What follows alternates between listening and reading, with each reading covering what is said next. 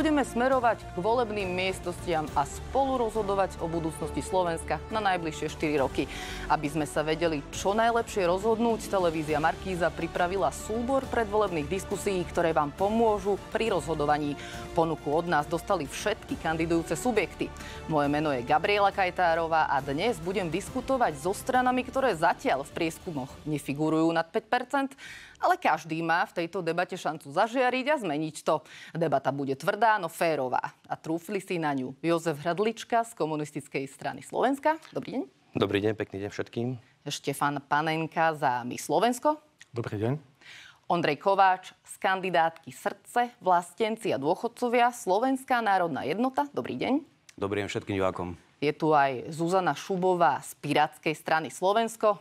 Dobrý deň. A Branislav Rybárik za SDK UDS. Dobrý deň, pekný deň všetkým. Aby sme vás na úvod lepšie predstavili, kolegyňa Martina Tereková o vás pripravila krátky zostrih. Nech sa páči.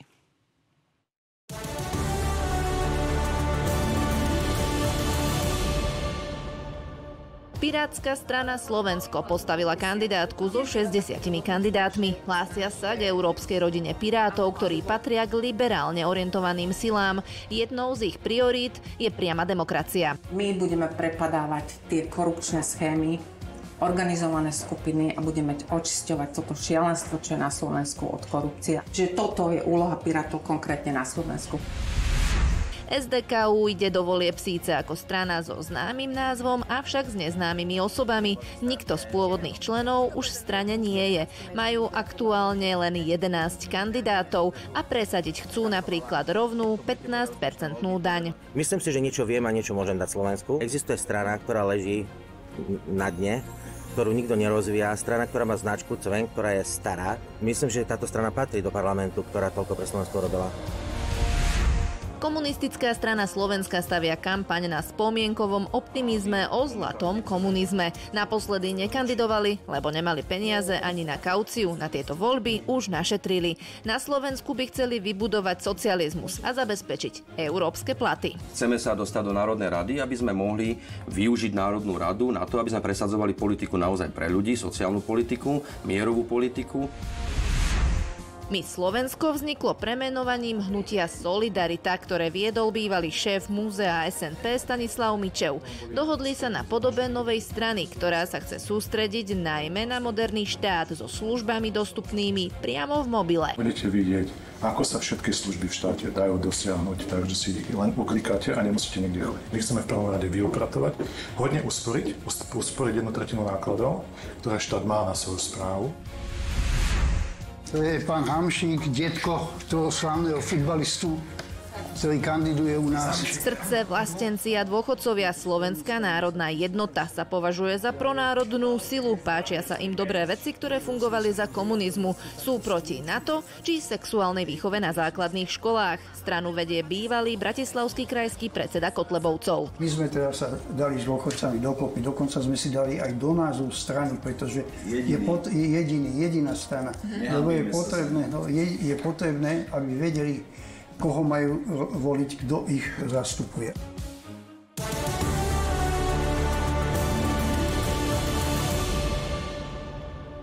Strany sme do diskusí pozývali podľa kľúča, ktorý nám vopred schválila Rada pre mediálne služby. Každý host má na debatu 9 minút, ktoré sa budú odrátavať na časomiere. Na konci relácie dostane každý ešte jednu minútu bez môjho prerušenia na to, aby voličom odkázal čokoľvek uzná za vhodné.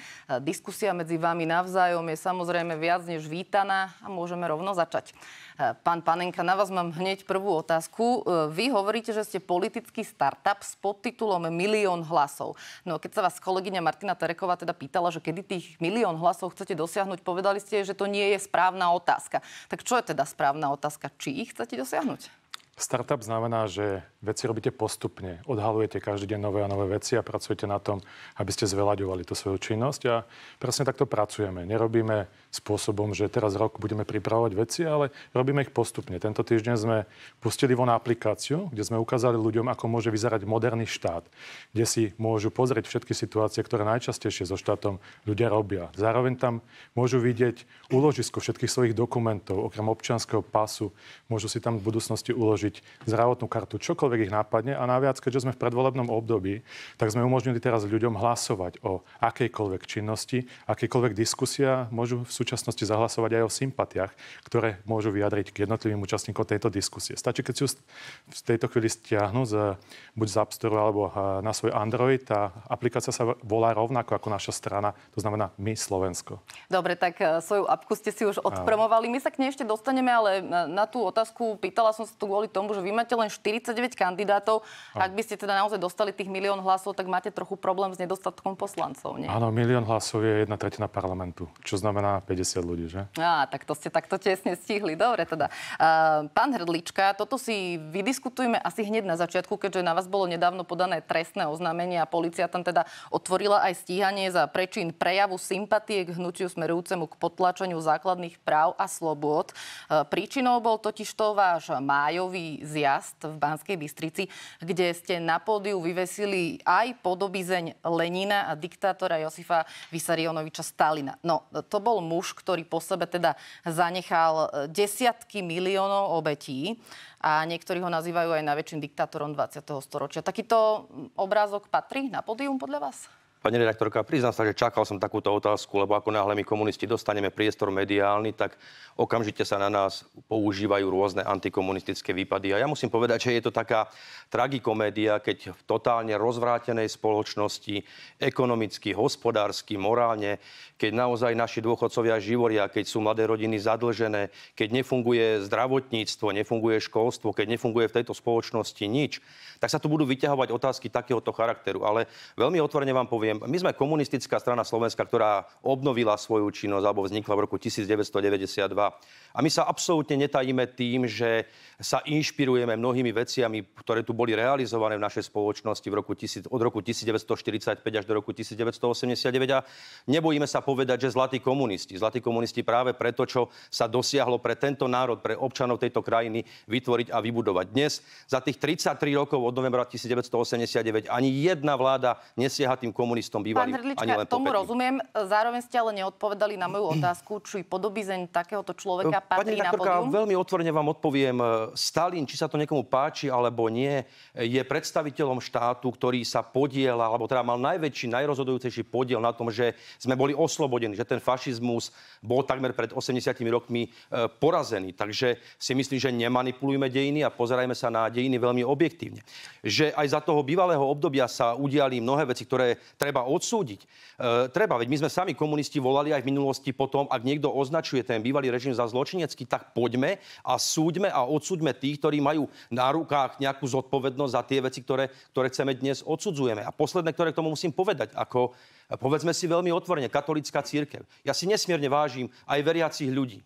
Každý má právo na svoje vierovýznanie. Ale ospravedlnila sa za, za inkvizíciu, za, za križiacké vojny, za to, že samotná katolická církev spolu participovala a podporovala fašizmus v 30. 40. rokoch. Takže buďme prosím objektívni a e- nes, nes, nesnažme sa neustále komunistom vtláčať nejaké zločiny a niečo podobné. Ja sa pýtam, 33 rokov myslím, že stačilo. Ja sa stačilo. pýtam ale veľmi jasne, veľmi pravidelne sa tu pýtame rôznych politikov, ano. napríklad e, na Hitlera, na pána Tisa, to sú sú otázky, ktoré kladieme. Vy, na rozdiel od týchto politikov, teda ste historik.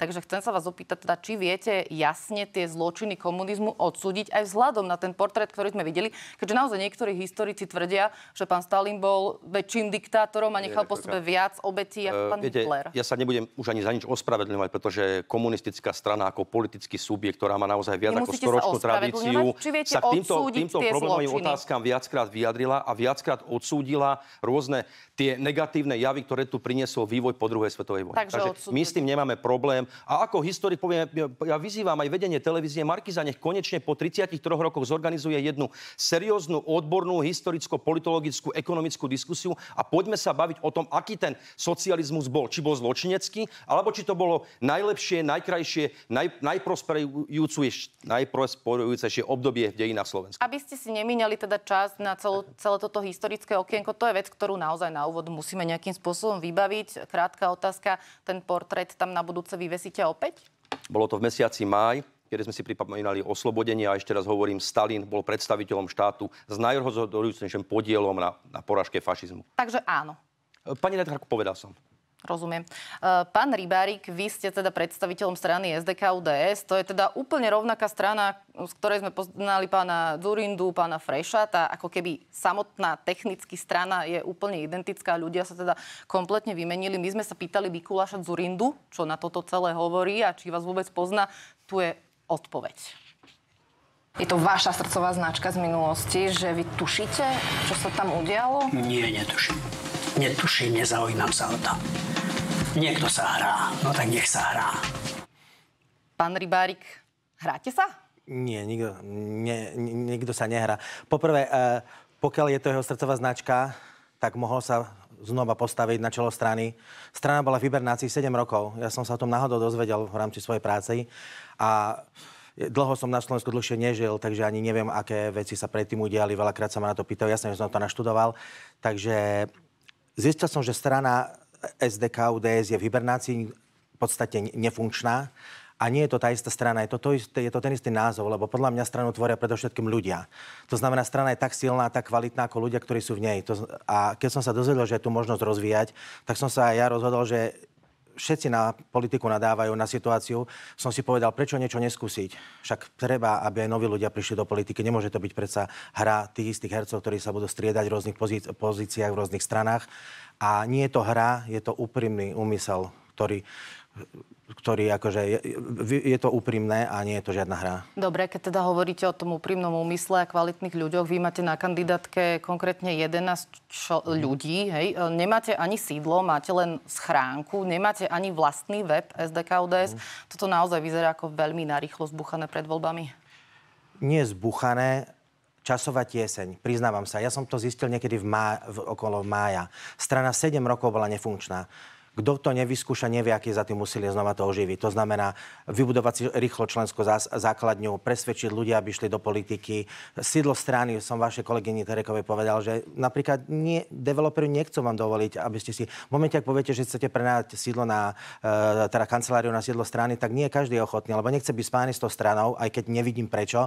Mnohí ľudia to vidia ako, že by boli spájani. Mnohé strany to zvládli mať sídlo. Áno, a budeme to mať samozrejme. My pracujeme na tom paralelne. Pre nás bolo strašne dôležité, keď odhibernome tú stranu znova uh, prebodiť životu, aby sme boli účastní teraz v týchto voľbách. Museli sme si prioritizovať kroky, ktoré mus- môžeme urobiť hneď a musíme urobiť hneď. A to bolo zapas- zaplatiť zabezpeku, zabezpečiť aspoň dostatočný počet kandidátov. A zdalo sa nám, že vzhľadom aj na naše výsledky nemáme veľké oči. To znamená, určite nečakáme milión hlasov tuto ako kolega tak, a nerátame, že by sme mali 50 kandidátov. Dobre. Išli sme s takým počtom. Aby ste si nemíňali, mám Ďakujem. ešte e, jednu mm-hmm. krátku otázku. Naposledy ste nevedeli kolegyni Terekovej povedať, koľko máte členov. Už ste si to zistili? Členov máme určite toľko, koľko prikazuje zákon. To znamená, máme nad 50 a každým dňom naši, naši členovia každým dňom pracujú na to, aby sme získali nových členov. Takže určite splňame zákonom stanovený počet členov a máme nad, nad tento limit.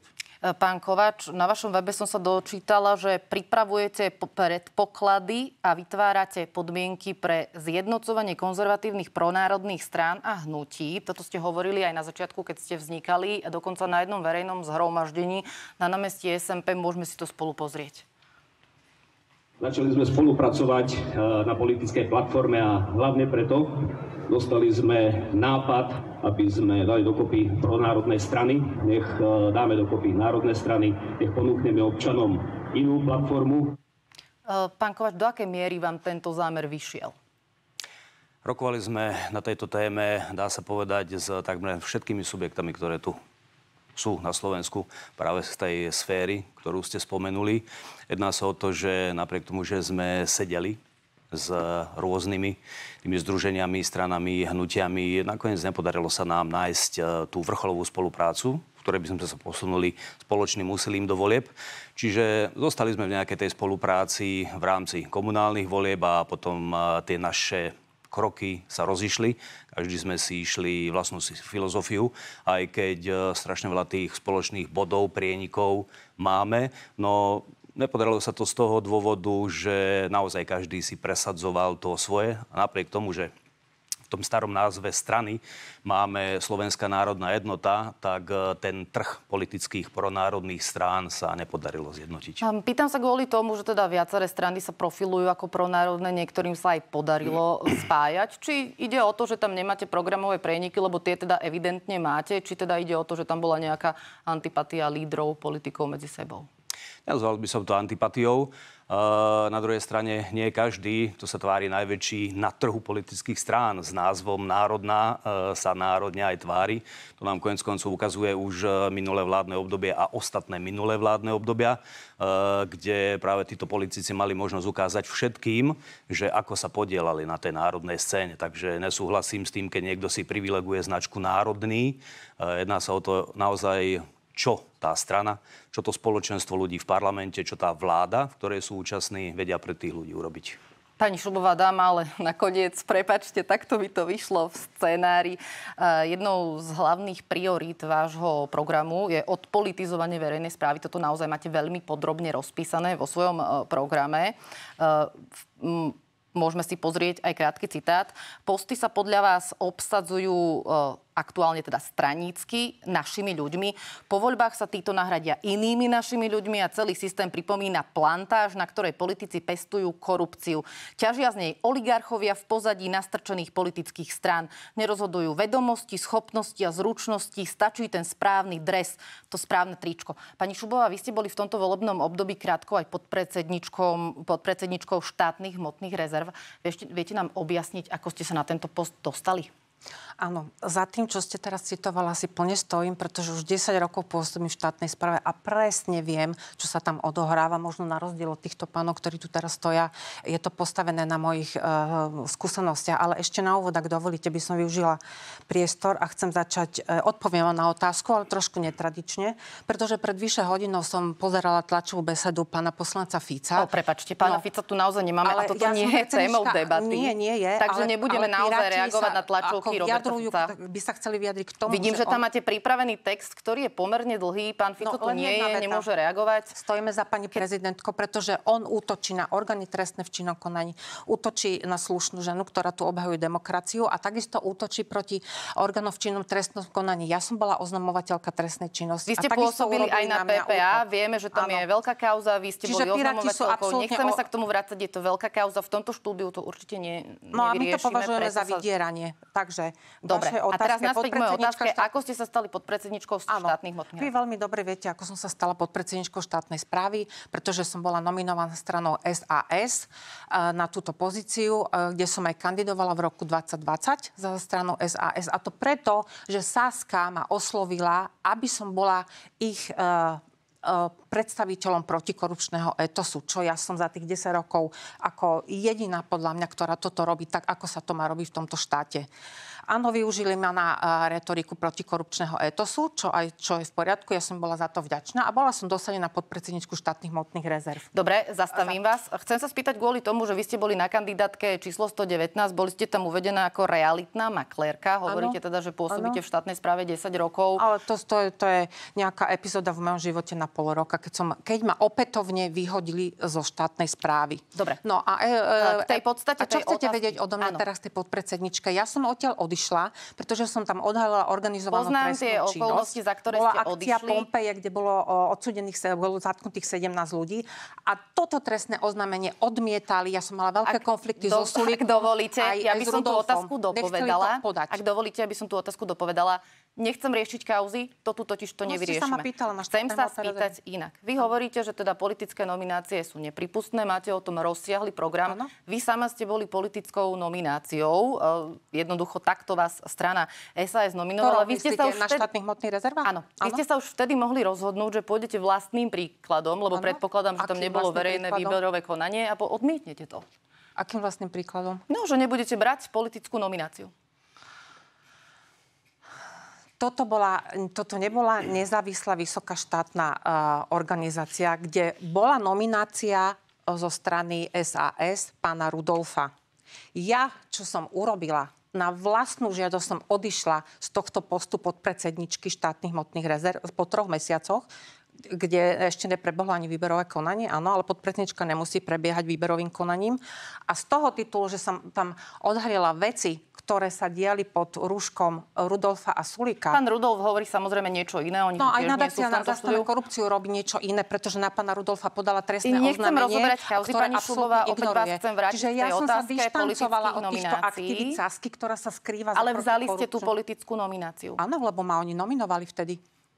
Rozumiem. Ale ako podpredsedničku upozorňujem, ja som nebola šéfka celého je úradu. Vysoká funkcia v áno, správe. Áno, ale po, do troch mesiacov som odišla a väčšinou uh, výberové Dobre, konania aby ste prebiehajú. čas, myslím, že tú odpoveď No, ja si myslím, že som to odpovedala. Dostala. Ďakujem veľmi pekne. Uh, pán Hrdlička, poďme teda k ekonomickému kolu. Uh, vašim strategickým cieľom podľa vášho programu je vybudovať socializmus. Usilujete sa o zásadnú zmenu pomerov. Uh, ja som si teda našla definíciu socializmu, aby som bola presná podľa Merriam-Webster Dictionary. Je to kolektívne alebo vládne vlastníctvo a správa výrobných prostriedkov a distribúcia ekonomických státkov. Skúste povedať, čo by to v praxi sa teda ako pretavilo, lebo do akej miery by sme teda mali kolektívne alebo vládne vlastníctvo?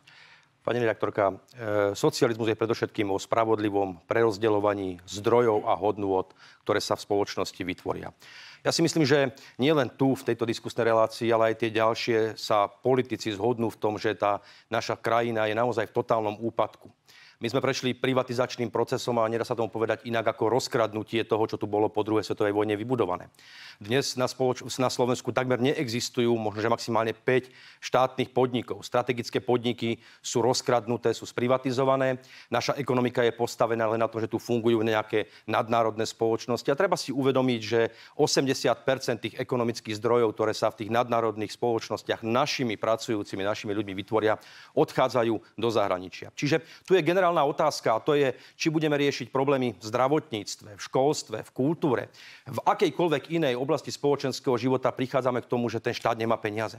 A ten štát nemá peniaze práve preto, že je Prepačte, ekonomicky ja kolonizovaný. Cieľom no tejto debaty nie je popisovať stav, ale riešenia. Tým našim cieľom jednoznačne je demokratizácia ekonomického systému založená na pri navrátení strategických podnik a energetiky pod kontrolu štátu, zriadenie štátnej banky, obnova štátneho podnikania na Slovensku. Toto je jediná cesta, ako sa dostať z tohoto spoločenského marazmu a ako zabezpečiť ekonomické zdroje na to, aby štát si plnil svoje poslanie vo vzťahu Keď k môžem doplniť, vy tam spomínate aj posilnenie inštitútu vyvlastňovania vo verejnom záujme. Čo to znamená, že teraz no, budete hovoríme o tom, že treba nájsť cesty na to, aby sme strategické podniky dostali pod kontrolu kontrolu štátu a aby štát opäť podnikal. Samozrejme zároveň hovoríme, že tento štát, Slovenská republika, má vytvárať adekvátne podmienky na to, aby aj ten drobný, stredný podnikateľský sektor slovenský fungoval, rovnako tak podpora živnostníkov.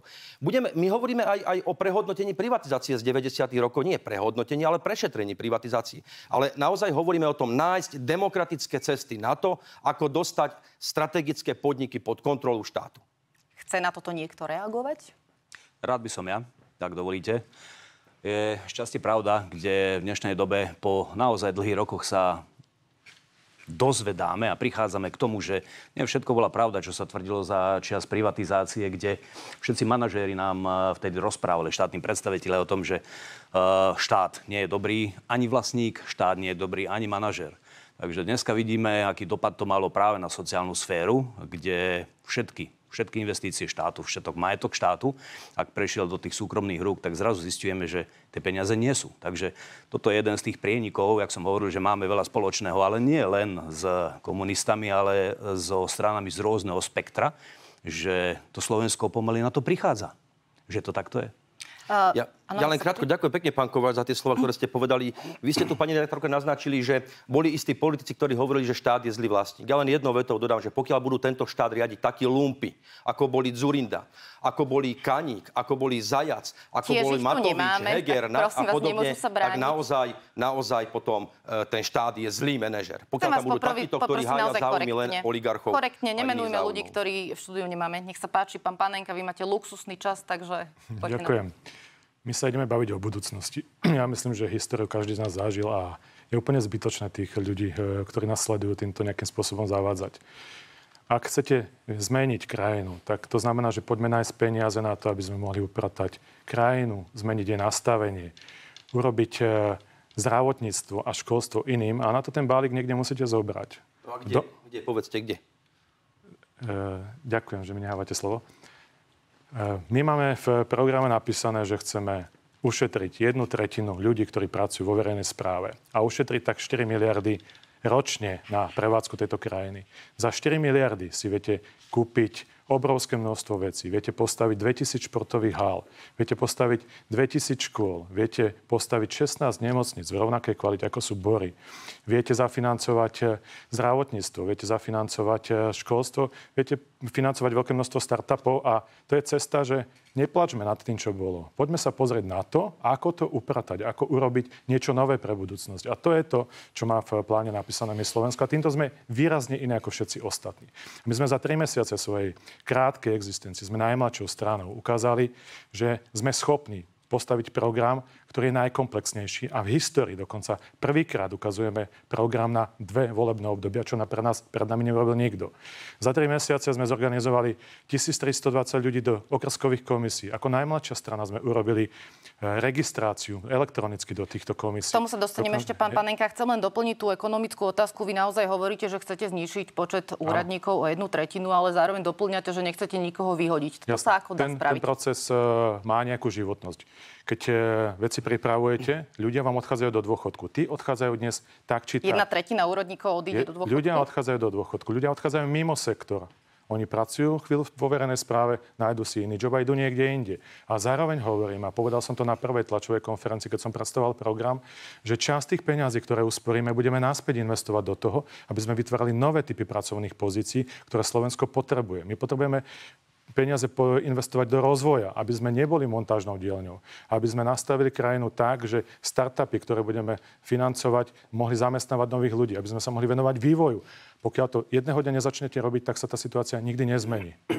Rozumiem. Vy teda máte naozaj program na dve volebné obdobia, ano. tak to vás ale musia ľudia zvoliť v týchto voľbách. Jasne, ale prvú vec, čo viete okamžite urobiť, je, že my sme ukázali v tejto fáze, ako ten štát môže vyzerať. Veľkú časť toho vieme zrealizovať okamžite. A tú okamžitú úsporu vieme dodať už po prvých dvoch rokoch a potom každý, každý rok dodávať e, do štátneho rozpočtu 4 miliardy menej a vieme, vieme šetriť e, a splácať ten dlh rýchlejším spôsobom, ktorý máme. Dokonca významne rýchlejším, ako, nie, ako ktorýkoľvek politik povedal. Ľudia sa bavia o tom, že by sme mali splácať 0,5 My si myslíme, že vieme dať naspäť 1 miliardu z tých 4 miliard každý rok do splácania svojho dlhu.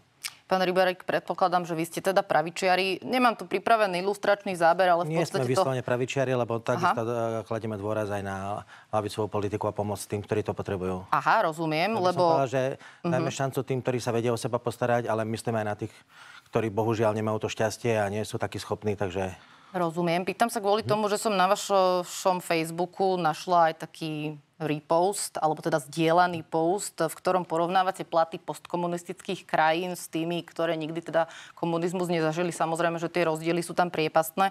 A ten post má titulok, že kapitalizmus netreba liečiť, treba ho naordinovať. To vyzerá, že vy ste tvrdí kapitalisti. Nie, to... Uh, postingy na internete sú samozrejme vždy je tam istá forma nadsázky, istá forma teatrálnosti, chcete upútať a tak ďalej, pretože kampaň na Facebook a na internete sa robí trošku ináč ako billboardami. Takže ja by som nadviazal Takže na to. nie so všetkým, čo máte na Facebooku, súhlasím? Ja s tým súhlasím, ako splnil to svoj účet, účel evidentne a malo to pred nami pozornosť. Ja súhlasím s pánom Panenkom v jednom. Treba urobiť už hrubú čiaru a odraziť sa od dna lebo ja chápem pána Hrdličku, na čo naráza, všetci to cítime, však ja tiež som tu žil, tiež som žil v 90. rokoch, ale zase prehodnocovanie nejakých privatizácií, stále sa vracanie do minulosti, môže len, že nejaká stará nespravodlivosť a na, nahradiť nejaká nová nespravodlivosť. Sú obrovské miliardy, ktoré sú... Ale fuč... veľmi ťažko po 30 rokoch je teraz dopatrať sa vlastníckej štruktúry. Máme nejaké záväzky voči Európskej únie, voči medzinárodnej, sú tu medzinárodné súdy. Ono, asi si to neviem predstaviť, ale jednoznačne, ako hovorí pán Panenka, treba sa odraziť od dna, naštartovať ekonomiku aj z hore. Proste nedá sa pozerať dozadu a teraz stále hľadať, Rozumiem. že prečo táto stalo, ale treba nesť ďalej k iným témam. Uh, pani Šubová, vy chcete tiež riešiť problém, ktorý je naozaj na Slovensku palčivý a to sú drahé ceny potravín a máte pomerne originálny nápad, ktorý by som chcela, aby ste mi trochu vysvetlili. Chcete to robiť svojpomocne tak, že by v určité dni odignorovali ľudia jeden reťazec, následujúci týždeň iný reťazec s cieľom donútiť obchodníkov razantne znižiť ceny. Viete mi toto vysvetliť? Áno, to je vízia. Možno v budúcnosti, keď bude tento náš štát fungovať normálne. A momentálne e, treba povedať, že treba na, v prvom rade zabezpečiť potravinovú sebestačnosť Slovenska, keď hovoríme o potravinách nie tým, čo sa deje na pôdohospodárskej platovnej agentúre. Vieme, že to bol zásah na kap- akcia Tajomník. Ja som oznamovateľka proti spoločenskej činnosti. K tomu možno prídeme neskôr. Ale treba odstrániť korupciu a to je tá depolitizácia štátnej správy, aby nemizla miliarda, ktorá sa prerozdeľuje každý rok na PPAčke e, rôznym finančným skupinám, ale našim farmárom, ktorých treba ochraňovať a chrániť, aby mohli produkovať vlastné potraviny a aby boli tie potraviny akceptovateľné aj pre slovenského spotrebiteľa. A bohužiaľ máme tu teraz e, kolaps za, za 8 rokov, za dve e, volebné obdobie, čiže toto sú teraz priority, ktoré bude riešiť budúca vláda a sú to veľmi ťažké opatrenia, ktoré budú budú nasledovať. Čiže toto je, povedzme, nejaký, nejaká vízia, ktorá môže fungovať, keď nám funguje ano. štát. Čítala som váš program, teda je naozaj, by som povedala, až bombasticky. Vy chcete modernizovať v podstate úplne všetko, ale moc tam nerozprávate o tom, kde by ste na to zobrali miliardy. Mám to tu vypísané, ale pre Čo chceme bomba, bombasticky organ- Dobre, takže vlaky všetko? typu francúzskych TŽV, Wi-Fi technológia zdarma pre obce, infraštruktúra pre elektromobily, zvýšenie platov zamestnancov, príplatkov, Áno, áno, hovorím. Áno. Bombastické, Áno. Všetci by sme Keď to chceli. Keď fungovať štát, áno z čoho. Uh, treba podporovať veda a výskum, treba podporovať technológie. Digitalizácia je bezpodmienečná vec, ktorá musí prejsť celou štátnou správou. A keď toto všetko uh, bude fungovať, budeme mať príjmy do štátneho rozpočtu, kde oligarchické skupiny nebudú ťahať svoje, uh, svoje záujmy a peniaze, to všetci vieme. Čiže toto je, áno, je to prvý program Pirátskej strany na Slovensku. Takže máme víziu Slovenska. Takže čo stačí nekradnúť a všetko budeme mať zlaté kľúčky? Nie, treba, treba odborne riadiť štát kde budú odborníci e, fungovať na najvyšších postoch a budú rešpektovať politické rozhodnutia, to je v poriadku. Politika, treba, e, politika v najvyššej, najvyššom leveli riadenia štátu treba rešpektovať, to sú tí ministri, ale celý ten zvyšný, e, zvyšný personál, ktorý je zamestnaný na rezortoch, má byť vyberaný odborne, bezkompromisne a nie figurky dosadený z politických štruktúr. Pán Rybárik, vy tiež spomínate digitalizáciu, dokonca máte rovnaký slogán ako pán Padenka, úrad z obývačky. To je až neuveriteľné, by som povedala. Od koho kto kopíroval, pani? Nikto. My sme určite nekopírovali. Digitalizácia je taká má srdcová záležitosť z dvoch dôvodov. Sám som vyštudovaný informatik, prvá vec. A druhá vec, som 15 rokov žil v krajine, kde som sa nasťahoval v roku 2002 neviem, či to máme spomenúť, bola to Kanada, kde som bol prekvapený už 4 úrovňou digitalizácie. Aké bolo jednoduché si všetko vybaviť. Podnikal som tam. Za jeden deň bolo všetko vybavené. Z počítača jednoducho. Momentálne takisto som aj manažer a súčasne aj podnikateľ, mám svoju spoločnosť a úroveň našich stránok, našich softverov, vôbec uh, úroveň našej digitalizácie je za mňa veľmi smutná. Ja ako informatik sám mám problém niekedy niečo spraviť na, naši, na strane uh, slovenskej, na, na slovenskej web stránke a preto je to veľmi dôležité, pretože je to súčasťou ekonomického programu a rozvoja. Vy musíte umožniť odborávať byrokraciu, musíte umožniť ľuďom, aby si vedeli všetko ra- veľmi ľahko a hlavne rýchlo vybaviť. Takisto to odboráva aj náklady na štátnu správu. A všetko by sa to dalo spraviť, pretože prostriedky, ktoré boli investované na Slovensko do digitalizácie, boli podľa mňa veľmi vysoké, ale výsledok tam nie je ten výsledok je slabý. Za veľa peňazí, malo muziky by som to doslova povedal. Pán Rybarik, ale to sa pýtame v situácii, keď nemáte ani vlastnú web stránku na projekt. Nemáme web stránku, lebo nemáme na ňu prístup a pretože sme ho nestihli, lebo sme mali iné priority. Nebojte sa, určite to napravíme. Hneď po voľbách sa do toho pustíme a všetky veci dáme do poriadku. Pozerali sme si, dáma a páni, aj teda vaše programy veľmi podrobne a mám tu také kolo originálnych programových nápadov. Snažila som sa nájsť niečo, čo nikto iný nemá. Pani Šubava, vy máte veľmi odvážnu drogovú legislatívu, ste za legalizáciu marihuany. Dokonca každý by mohol pestovať 4 rastliny a ak by teda nemal kde pestovať, môžeme, môžu sa ľudia zhromažďovať v kluboch pestovateľov, chcete ísť ešte ďalej. Využitie halucinogénov, psychotropných látok na medicínske účely. My sme v bode, kedy nevieme schváliť teda ani poriadne e, zjemnenie trestov a nevieme dekriminalizovať. Ako si to viete na Slovensku predstaviť? No, toto je agenda všetkých pirátov, pretože piráti sú prítomní v 19 krajinách Európy, čiže my ideme v jednotnej línii. Je nenormálny stav, na Slovensku sa odsudzovali ľudia za 4 rastlinky. Sú to drakonické tresty, niečo sa tu životy mladým ľuďom. Čiže my ideme prebrať už overený uh, model, ktorý bol prijatý v roku 2021 na Malte. To znamená, že uh, predaj marihuany bude riadený takými istými zákonmi ako na tabakové výrobky alebo alkohol. Každý, kto bude mať snahu pestovať konopu, konopu hašišovú alebo marihuanu, bude mať limit 7 gramov na deň alebo 50 gramov na mesiac. Toto je možné cez tie komunitné centra, kluby, ste kluby spomínali. Tam budú štátom pridelované licencie, čiže to bude regulované, tak je to na Malte. Samozrejme, bude to možné realizovať len v týchto centrách, nebude to pouličný predaj. Takisto, ak to bude ilegálny predaj, bude to Dobre, dobre. Ja len k tej otázke, ako to chcete uzákoniť na Slovensku, rozumiem, ale s kým, lebo na toto tu nie je vôľa. No tak uh, budeme o tom diskutovať samozrejme. A toto je naša vízia. Tak ako v, vo všetkých európskych, na Malte to funguje.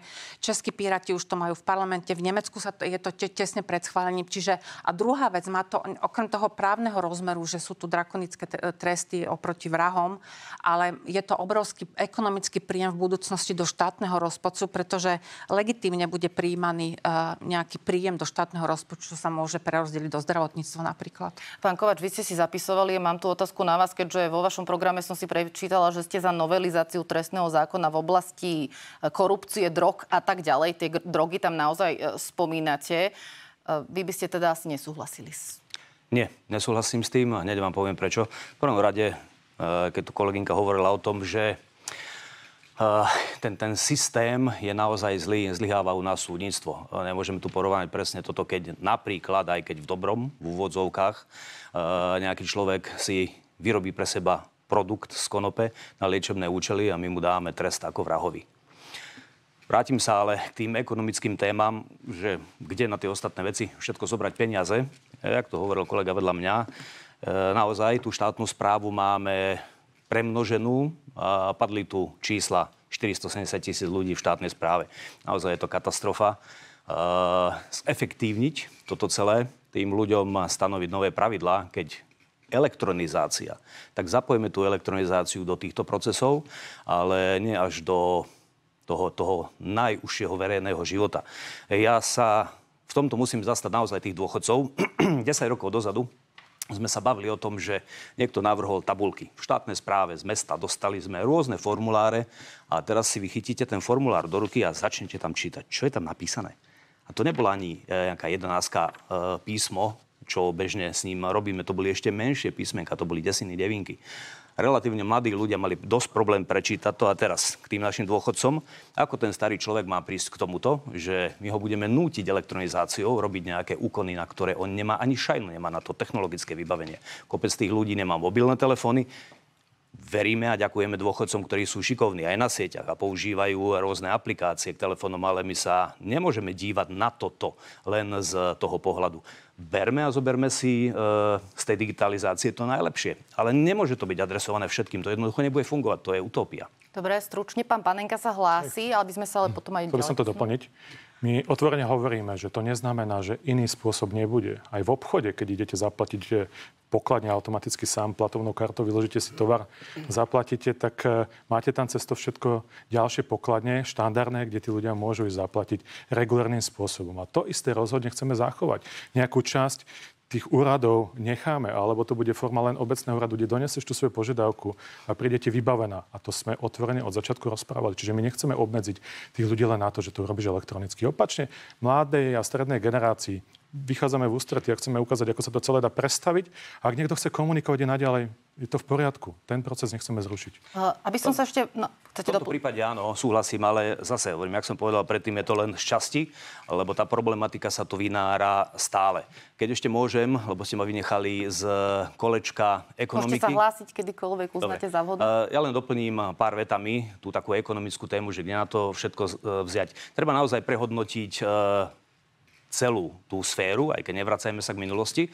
Ale napríklad, e, ja som sa chytil také jednej veľmi dôležitej témy a to je euro versus bývalá československá alebo slovenská koruna. Sami vieme, že keď sa pripravovalo v Európe euro, náš kurz voči nemeckej marke bol daný 22, 22 korún slovenských plus minus. E, teraz nejde tu vôbec o presnú sumu.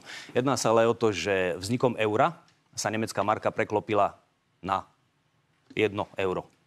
Rozumieme si? Jedna marka, vzniklo z toho jedno euro. A teraz, čo za tých pár rokov, kým sme my nastúpili dráhu eura, sa stalo, a ja sa tiež pýtam aj verejnosti, hľadajte na to odpovede, pýtam sa odborníkov, ekonómov, hľadajte odpovede na toto, čo sa stalo s tou markov, eurom a 22 korunami slovenskými, keď zrazu sme si určili kurz pre Európsku banku 30,126 eur.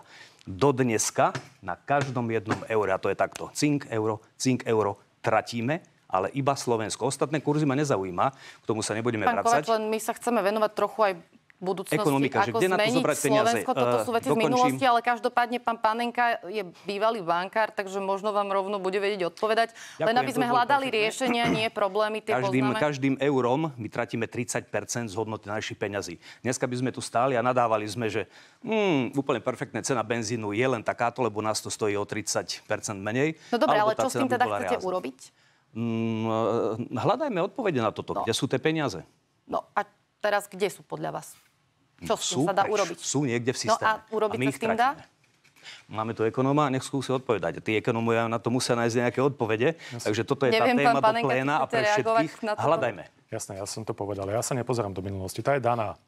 Ja riešim vždy podstatu a to, v tejto chvíli potrebujeme riešiť budúcnosť. A ukázali sme ako jediný zo všetkých politických strán, kde tie peniaze zobrať. A prvýkrát v histórii niekto hovorí, poďme šetriť. Každá domácnosť potrebuje šetriť. 30 rokov každému rozprávame, utiahne si opasok, ale v štátnom rozpočte si schvalujeme každý rok o 20% viacej. Dokonca aj na budúci rok. A to je nepredstaviteľné. Na druhej strane tu máme jasnú, jasnú predstavu o tom, že čo sa ide stať na konci roka. Ľudia a ekonómovia upozorňujú, Slovensko ide do krachu. Veď sa zobuďme, poďme konečne riešiť úsporu. A tá úspora, keď ju vyžadujeme od domácnosti, tak ju poďme vyžadovať aj od štátu. A tam je to riešenie jednoduché. Ukázal som, akým spôsobom. A to, že to myslíme vážne a že sa to dá spraviť, som ukázal, akým spôsobom môže vyzerať štát mobil. Je to prvý krok. A všetky ostatné veci k tomu sme schopní dorobiť, keď budeme sedieť vnútri. Pani Šubová sa hlasí a vás len upozorňujem, že máte čas. málo Ja vám presne poviem, ako úspora štátu. Máme tu uh, akciu Vírus, kde bolo definovaných 74 milión ukradnutých peňazí zo štátneho rozpočtu uh, minulý týždeň. Takže za týchto 74 miliónov mohli byť vystavená je, jedna uh, luxusná alebo dve menšie nemocnice. Toto sú tie úspory, ktoré treba prestať a toto urobia Piráti. Dobre, teda niekto ďalší? Akcia vírus nie je len akcia vírus, e, o ktorej hovoríte vy. Ten e, posledný vírus, o ktorom sa tu bavíme 3 roky, nám zobral asi toľko miliard. A za to môže tiež naša bývalá vláda, takže bavíme sa aj Za o to týchto peniazoch. môže to je len ten- aj ten vírus, Margo, to, že nezachádzajme ďaleko do minulosti. Zostaneme Tam to tu, boli naozaj tejto blízkej náklady. minulosti. To je veľmi dobré. A jak dovolíte, ja tu mám len jednu vec. A ja by som mu veľmi rád ukázal na kameru. A ak ma môžete zosnímať, prosím vás. Toto je 150 ľudí, respektíve strán zastupujúcich, ktoré sedia v parlamente. A môžete vidieť, ako dlho. Hej? Od 22 rokov po 7.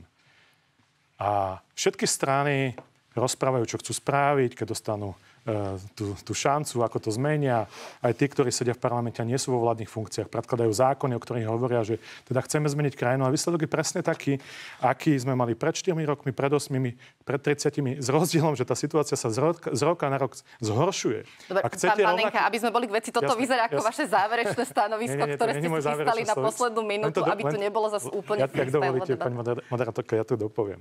To znamená, že ak chcete rovnaký výsledok ako včera, voľte rovnaké Dobre, strany, ako tuto sú vás tam naozaj dnes. už uh, ukončím.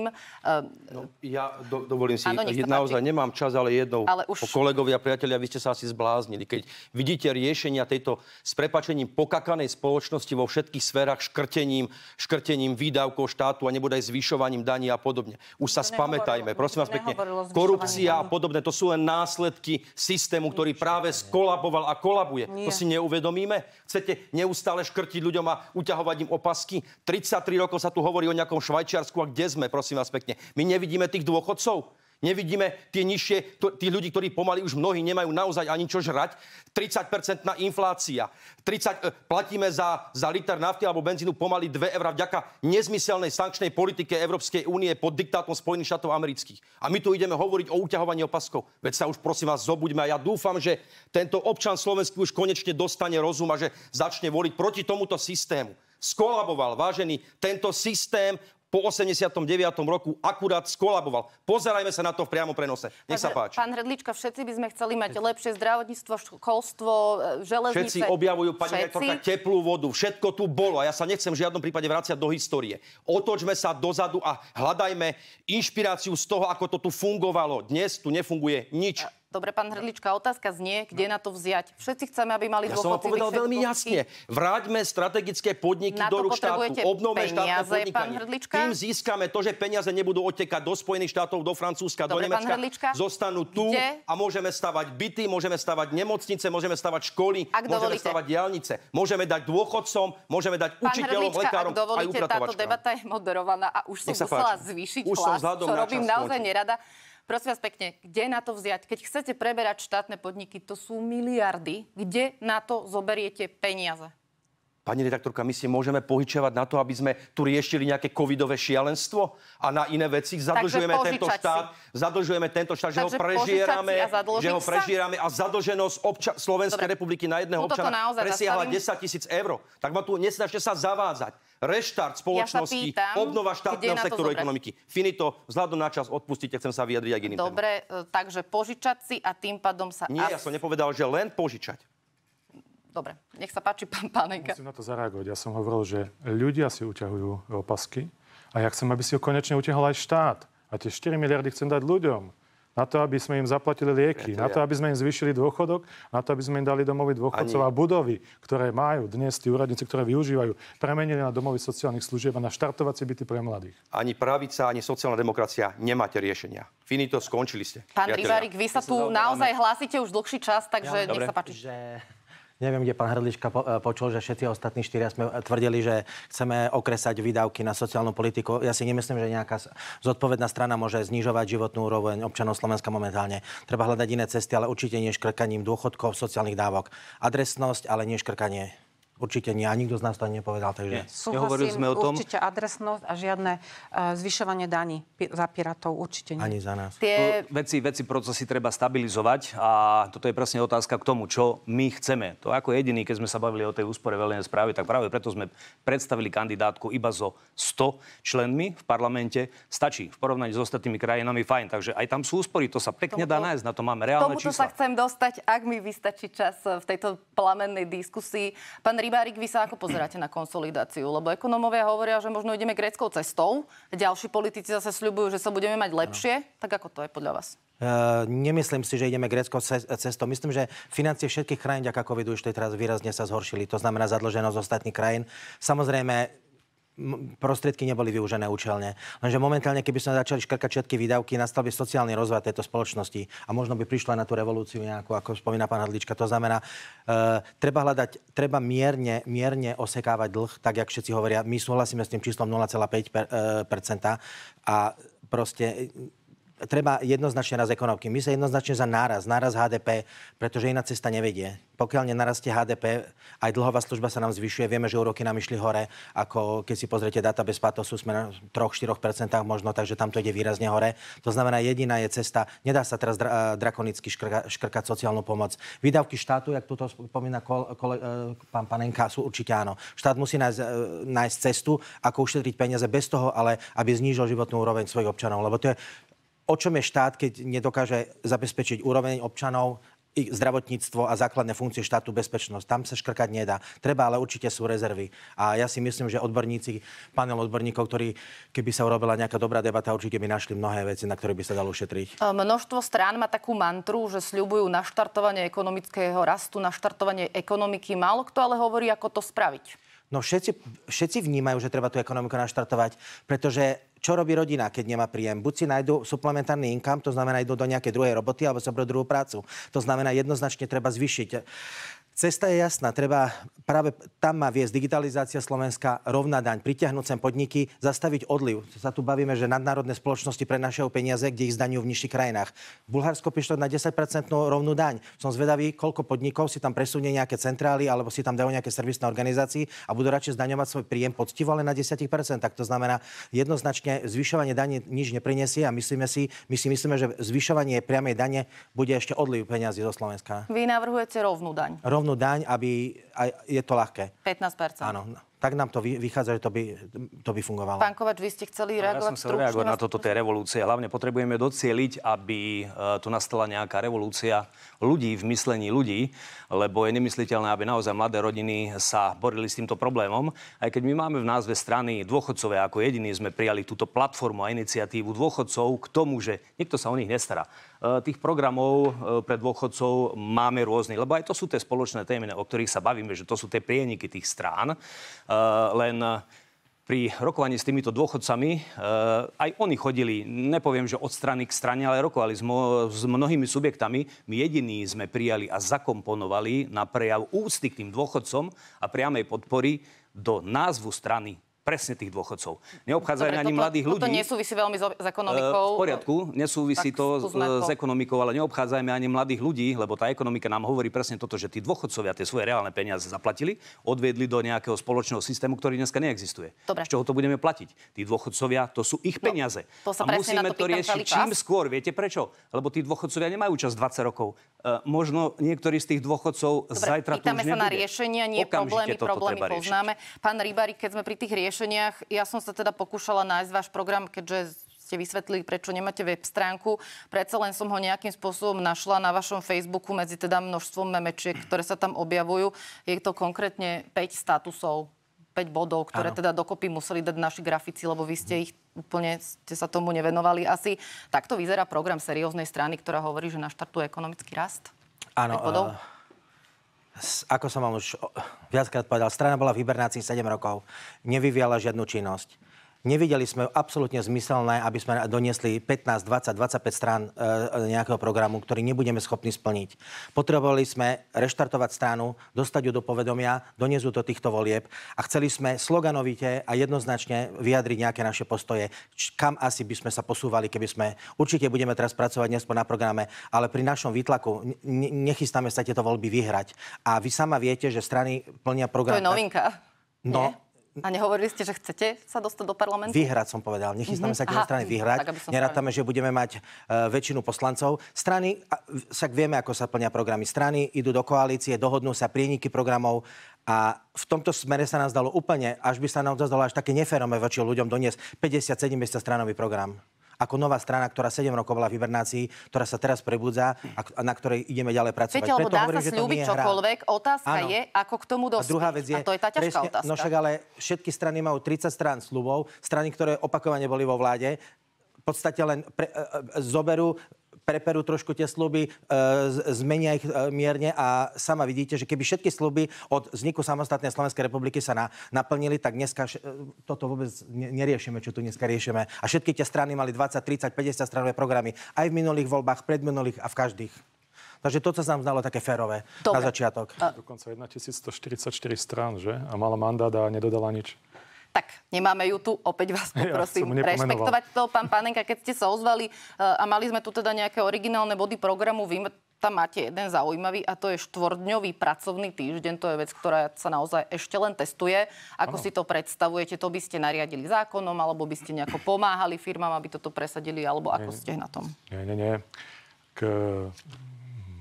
Vysvetloval som to spôsobom, že Počas covidu veľké množstvo spoločností pracovalo z domu a dodnes mnohým spoločnostiam, ktoré sú dobre zorganizované a umožňuje im to prevádzka, tak tí zamestnanci pracujú home officeom a pre tieto spoločnosti je dobré zorganizovať ten týždeň tak, že pracujú 4 dni.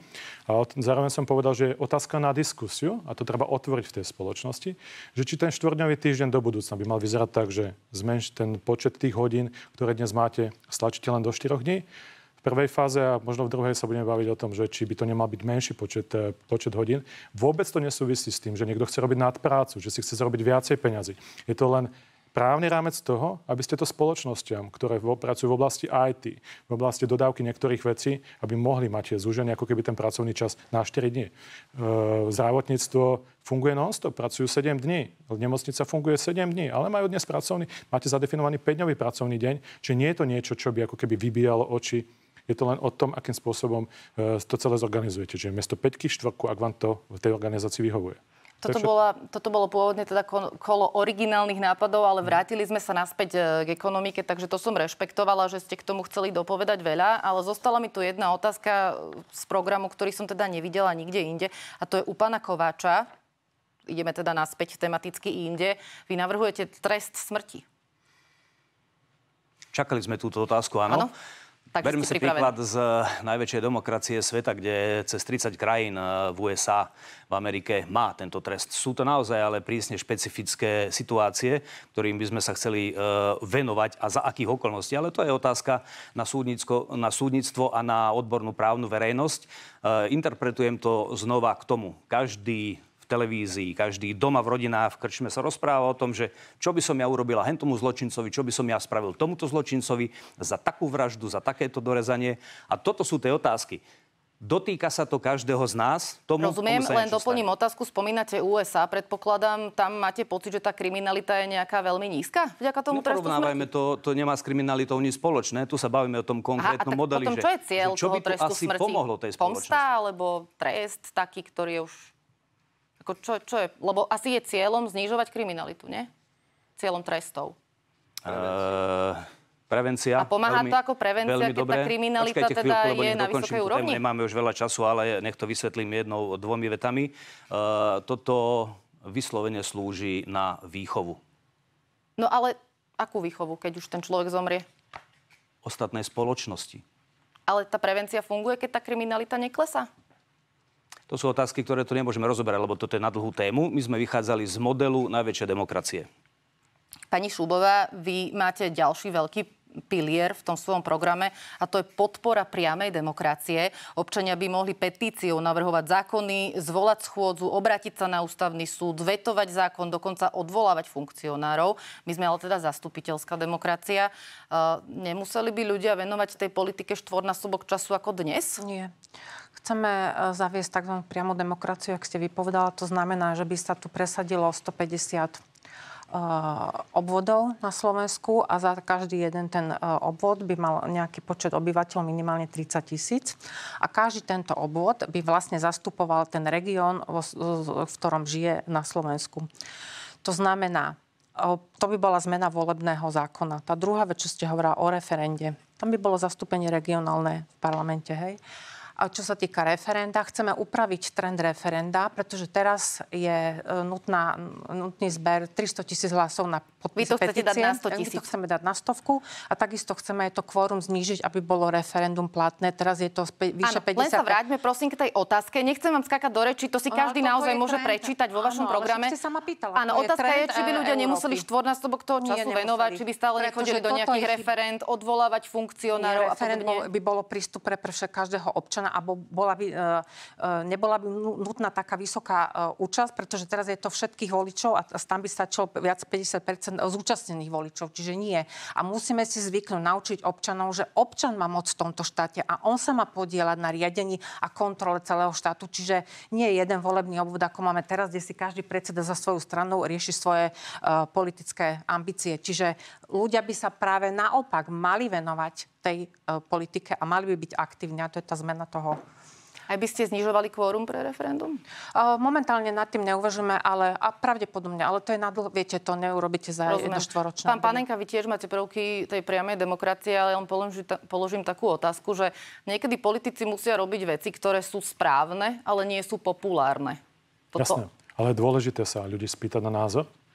Predtým, ako prejdete s nejakou veľkou vecou, nech je hociak dobrá a spoločnosť vám ju odsúdi, tak ju nepríjme.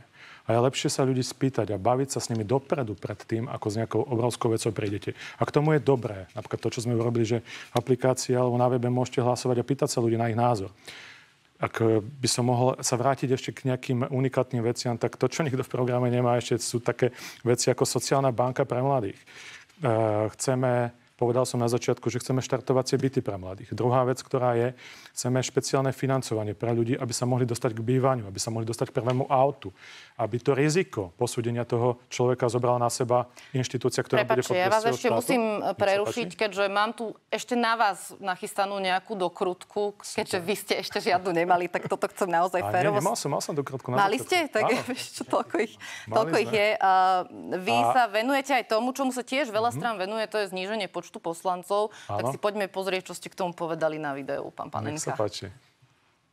Tu pracuje 150 ľudí v tejto Národnej rade. 150 ľudí, ktorí sa nevedia dohodnúť. Urobíme z nich 51 alebo 101. Neviem, aké číslo je správne, ale urobíme z nich počet ľudí, ktorí sa budú vedieť dohodnúť. Nekomplikujme si život.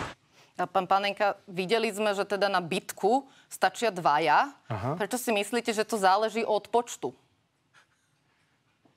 V úvode ste mi položila otázku, že prečo 50 poslancov. E, náš cieľ je naozaj tak jak pri verejnej správe aj pri parlamente znížiť ten počet e, tých ľudí na buď číslo 101 alebo 51, to, to budúcnosť ukáže.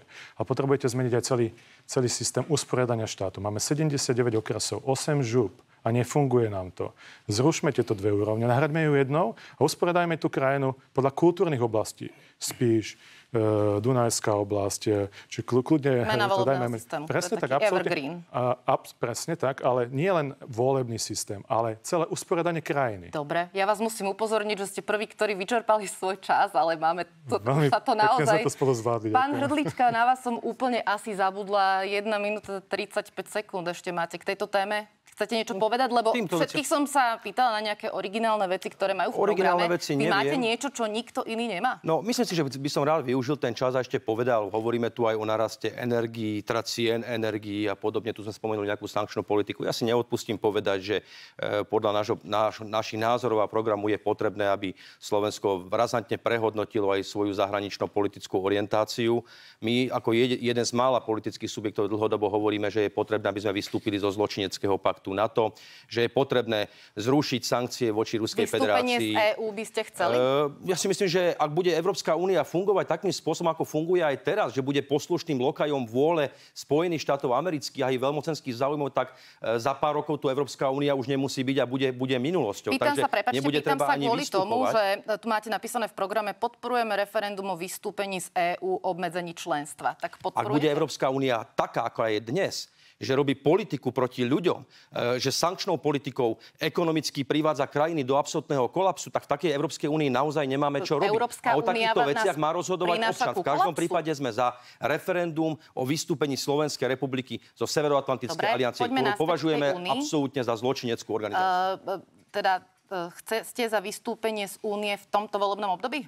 Pani to, to, to, to, o, to, o tomto my nehovoríme. My hovoríme, my sme, my sme vždy podporovali európsku integráciu, pokiaľ to bola integrácia, ktorá bola prospešná pre národy, štáty a pre bežných ľudí. Ale Európska únia v súčasnej podobe koná v rozpore s národno-štátnymi záujmami jednotlivých, hlavne tých menších krajín a koná proti proti bežným Opäť sa pracujúcim ľuďom. Krát, Takejto Európskej únii podľa môjho názoru nemáme čo hľadať. Takže vystúpiť v tomto volebnom Takejto období. Európskej únii, ktorá je poslušným vazalom a lokajom USA, Slovenská republika nemá čo hľadať. Dobre. Na domácnosti a každej rodine. Ale to nehovoríme, že Pani, dnes, pán Hrdlička. Prepačte, Európska únia sama smeruje čas, svojmu koncu takýmto spôsobom. Pardon, musím vás upozorniť, že ste vyčerpali uh, svoj čas. Pán Rybárik, vy sa na to ako pozeráte? Ožobračuje nás Európska únia? No nie, samozrejme však.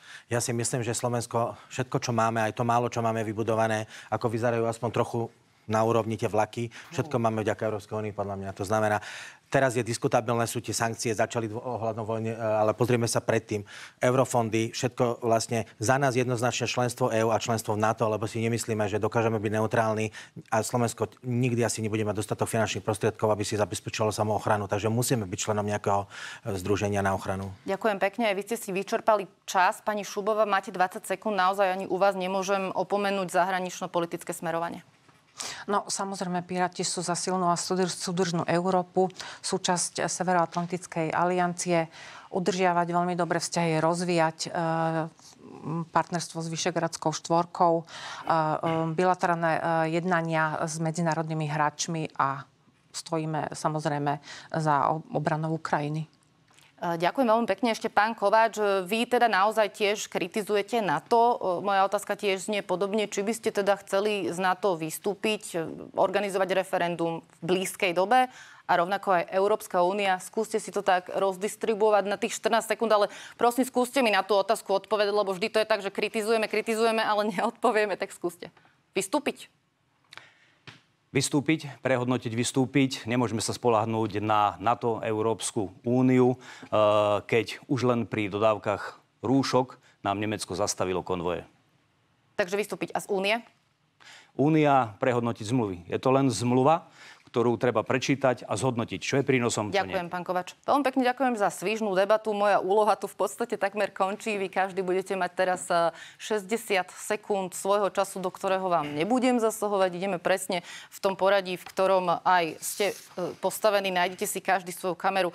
Pán Jozef Hredlička z komunistickej strany Slovenska. Nech sa páči, váš čas beží. Áno, ďakujem pekne. Tak vážení spolupčania, v prvom rade vás vyzývam, poďte voliť 30. septembra. E, komunistická strana Slovenska nemusí nič slubovať, pretože nás, myslím si, že veľmi dobre, hlavne tá stredná staršia generácia poznáte. Buďte si istí, že nikto vám nemôže e, viac slúbiť, ako vám už komunisti v minulosti dali.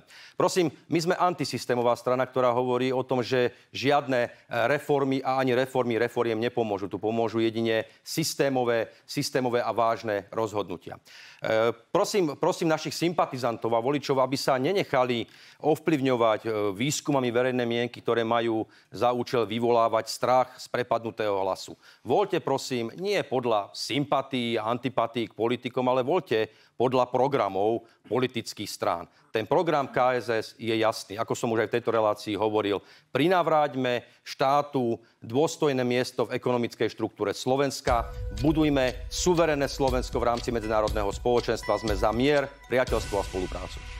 Ďakujem pekne. To bol Jozef Hrdlička z komunistickej strany Slovenska a ďalší v poradí je teda Štefan Panenka zo strany My Slovensko. Nech sa páči, 60 sekúnd. Toto je vyhodený hlas. Toto je stratený hlas. Slovensko potrebuje lídra, ktorý má zdravý rozum, ktorý chce nastaviť pravidla, ktoré budú platiť pre každého a rovnako, ktorý uzdraví túto krajinu, človeka, ktorý bude chrániť každého občana. Ja už rozprávať teraz nebudem. Porozmýšľajte a počúvajte v tejto chvíli svoj hlas. Čo chcete pre seba, pre rodinu, pre Slovensko. To je všetko. OK, veľmi pekne ďakujeme ja, za stručné Ja prosím, ten čas mi nehajte. Aha, prepačte. Nehajte ho divákom.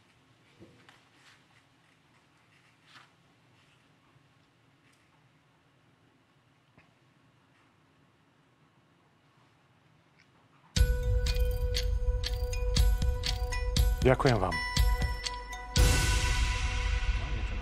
Dobre, to bolo originálne. Môžeme teda pokračovať ďalej. To bol Štefan Panenka za My Slovensko a teraz je na rade Ondrej Kováč, srdce, vlastenci a dôchodcovia Slovenská národná jednota. Nech sa páči. Strana srdce, vlastenci a dôchodcovia Slovenská národná jednota vznikla pre všetkých občanov, ktorým srdce bije pre Slovensko.